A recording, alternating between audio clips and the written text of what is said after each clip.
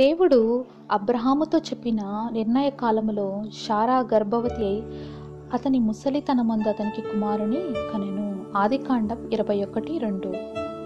యహోవా ఆలోచన సదాకాలం నిలుచును. ఆయన సంకల్పములు తరతరములకు ఉండును కీర్తనలు ముప్పై మూడు పదకొండు. అయితే దేవుడు అనుకున్న సమయం వచ్చేదాకా మనం వేచుండడానికి సిద్ధపడాలి.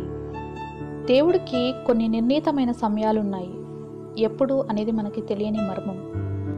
మనకు అవి తెలియవు కానీ ఆ సమయాల కోసం మనం ఎదురు చూడాల్సి ఉంది.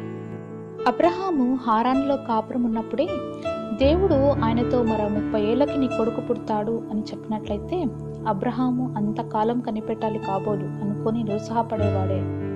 కానీ దేవుడు తన ప్రేమ కొద్దీ ఆ సంవత్సరాల తరబడి కనిపెట్టడానికి అబ్రహాంకి లేకుండా చేసి ఆ వాగ్దానం నెరవేర్చడానికి ఇంకా కేవలం నెలల గడువు ఉందనగా అబ్రహాంతో చెప్పాడు ఈ కాలమున నిర్ణయ కాలమునకు షారాకు కుమారుడు కలుగును. ఆదికాండం పద్దెనిమిది పద్నాలుగు. నిర్ణయ కాలం ఎట్టకేలకు రానే వచ్చింది.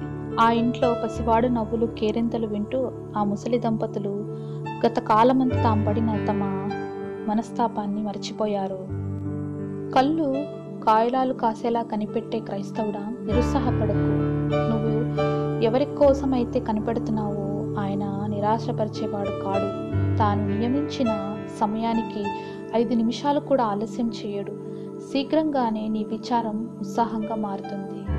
దేవుడు నిన్ను ఆనందంలో ముంచెత్తినప్పుడు ఎంత దీవెనకరమైన స్థితి అది?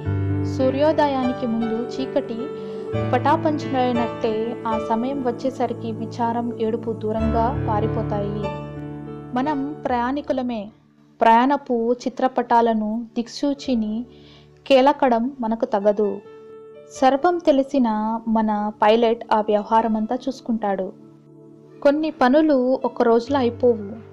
సూర్యాస్తమయ సమయంలో ఆకాశంలో సాక్షాత్కరించే వింత రంగులు ఒక్క క్షణంలో తయారయ్యేవి కావు.